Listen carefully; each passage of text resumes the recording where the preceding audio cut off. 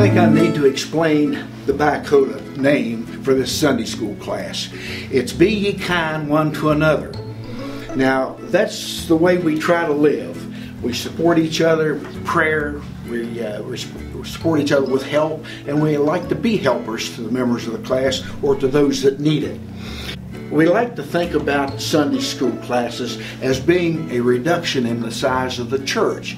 You have a large church, the Sunday school is a blessing because you get closer relationships, you get to understand the people in the class much more, and you get a closer knit group of folks that really, truly care for each other. Now, I'd like to make sure that we understand that uh, we're very social. We enjoy going out a minimum of once a month uh, here on campus with uh, a covered dish or go out to the restaurants in the city. So, we're big eaters in the BYKOTA class. We use the Bible study for Life Quarterly from LifeWay. Uh, I use the NIV Study Bible and the King James Version Bible. We have different people from all different walks of life in the class.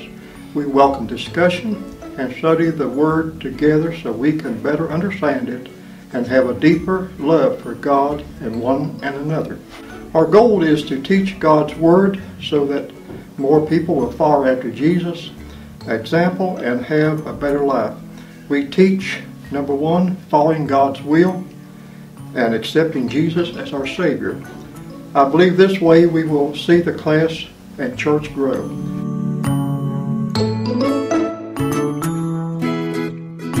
I'm thankful that we support several ministries.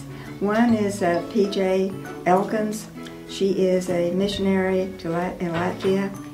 And then, of course, we help the Fidelis class with the boxes at Christmas and, the, also the Samaritan's Purse and uh, the community cupboard. Some of us working in the cupboard and giving to it.